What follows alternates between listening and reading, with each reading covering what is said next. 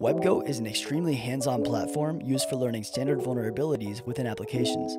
It has multiple examples with increasing difficulty for each type of vulnerability, and when paired with OWASP Zap, is one of the most powerful tools in learning how these vulnerabilities work and how to recreate them. On an essential level, this provides students with a way to see and experience the vulnerabilities they will have to protect against in the real world. So, what are the pros of using WebGoat?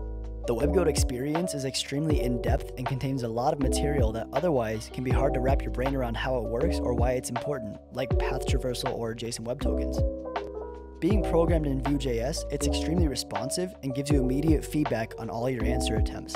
It also helps with teaching how Zap or Burp works, as well as the Unix command line. So, what are the cons? Performing exploits in WebGoat for a lot of modules requires prior knowledge of the technologies used to achieve that exploit. The web application itself does not explain these prior requirements, but does provide hints to lead you along the way should you do your own research.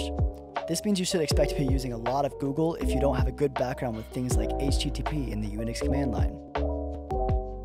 So my personal experience with WebGoat as a student was overwhelmingly positive as it provides insight to a lot of common vulnerabilities within applications, a lot of which I wouldn't have thought of myself before using WebGoat. Being one of the students that can't learn from watching and must physically do something to learn it, I found this to be one of the best methods of teaching for someone like me and for a material of this nature.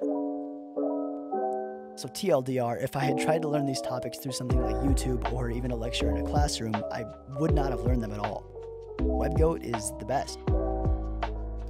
However, this positive experience comes with some prerequisites.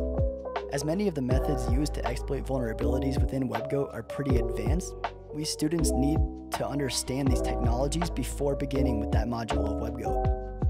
Because it is unrealistic to expect students to understand all these technologies to the depth they need to in order to complete these assignments, it's imperative that the instructor provides lectures on each module and basic technologies behind the module before assigning it to the student. This has been an overview of OWASP WebGoat.